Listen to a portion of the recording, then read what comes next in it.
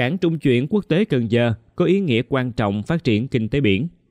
Thưa quý vị, trước đó, Ủy ban nhân dân thành phố Hồ Chí Minh đã tổ chức các hội nghị lấy ý kiến cho đề án nghiên cứu xây dựng cảng trung chuyển quốc tế Cần Giờ. Theo Chủ tịch Ủy ban nhân dân thành phố Hồ Chí Minh Phan Văn Mãi, bất cứ dự án nào cũng đều hướng đến mục tiêu phát triển bền vững, bảo vệ môi trường, mang lại hiệu quả cho vùng cũng như cả đất nước.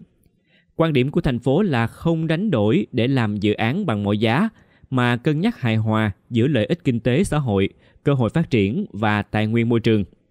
Dự án cảng trung chuyển quốc tế Cần Giờ là dự án trọng điểm quốc gia, có ý nghĩa vô cùng quan trọng đối với sự phát triển của thành phố Hồ Chí Minh và cả nước.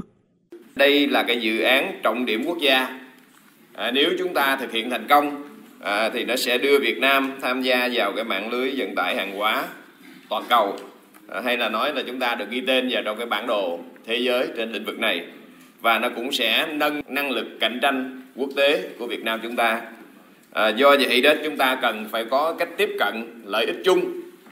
À, đây là cái dự án trọng điểm quốc gia, à, nó có một cái vai trò sứ mạng à, nâng cái năng lực cạnh tranh quốc gia. À, cho nên chúng ta cần phải phải tính trong cái lợi ích tổng thể, lợi ích chung để chúng ta à, triển khai dự án.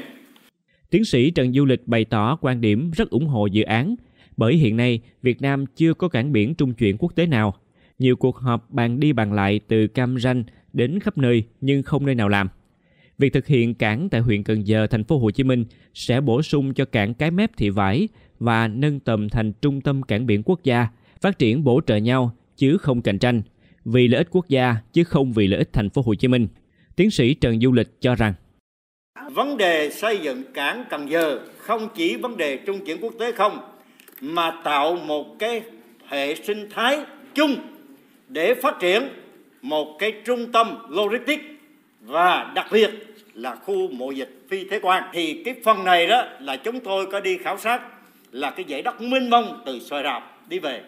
Thì khu này là thể bổ sung thêm để nâng cái khai thác cái cảng quốc tế này lên. Thì đấy là một cái lợi thế tôi cho rằng là rất quan trọng. Tôi nghĩ rằng đây là cơ hội để cụm cảng biển số 4 xây dựng cái mép thị vải và cần giờ thành một cái trung tâm trung chuyển quốc tế ở tầm nhìn hai ba mươi năm tới chứ không phải hôm nay. Có khi đường hàng hải quốc tế và những cái quan hệ địa địa kinh tế nó thay đổi và đây là điểm đi đón đầu. Tôi nghĩ rằng các hãng tàu lớn các nhà đầu tư chiến lược họ cũng nhìn cái tầm này để họ bỏ tiền. Tiến sĩ Trần Đình Thiên, nguyên viện trưởng Viện Kinh tế Việt Nam cho rằng dự án cảng trung chuyển quốc tế Cần Giờ là cơ hội lịch sử cho thành phố Hồ Chí Minh và cả quốc gia nên cần tận dụng cơ hội để triển khai. Nếu mà cái cái cung cảng này được sự dẫn dắt bởi một cái hãng tàu hoặc là hai hãng tàu lớn nhất thế giới thì cái cộng hưởng lợi ích là vô tận. Ta đừng có nói là xung đột, có thể là một trong ờ, mấy năm đầu có thể là nó phải chia sẻ bớt cái cái nó hút về cái cảng Cần Giờ, bên kia là nó giảm đi một tí. Nhưng về mặt dài hạn lợi ích quốc gia, lợi ích tổng thể, lợi ích vùng đấy thì phải nói là công hưởng Cảng trung chuyển quốc tế Cần Giờ nằm biệt lập ở Cù Lao Phú Lợi, thuộc vùng chuyển tiếp của khu dự trữ sinh quyển rừng ngập mặn Cần Giờ. Tổng diện tích cảng khoảng 571 hecta, bao gồm 90 hecta đất cù lao rừng phòng hộ ven biển và 481 hecta diện tích mặt nước. Theo tiến độ dự kiến, siêu cảng sẽ hoạt động từ năm 2027 với sản lượng hàng hóa năm đầu tiên khoảng 2,1 triệu TEU, một TEU bằng một container 20 feet.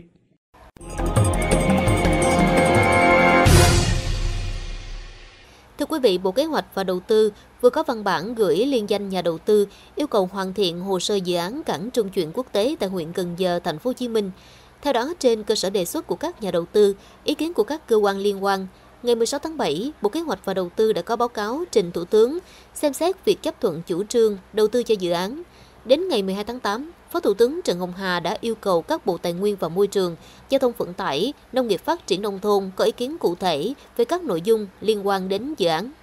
Theo Bộ Kế hoạch và Đầu tư, trong hồ sơ đề xuất, nhà đầu tư đặt tên dự án là Cảng Trung chuyển Quốc tế cửa ngõ Sài Gòn. Tuy nhiên, các quy hoạch đã được cấp có thẩm quyền phê duyệt và đề án được Thành phố Hồ Chí Minh xây dựng chỉ đề cập đến Cảng Trung chuyển Quốc tế Cần Giờ. Do đó, nhà đầu tư cần rà soát lại tên và vị trí của dự án trong hồ sơ để đảm bảo tính thống nhất.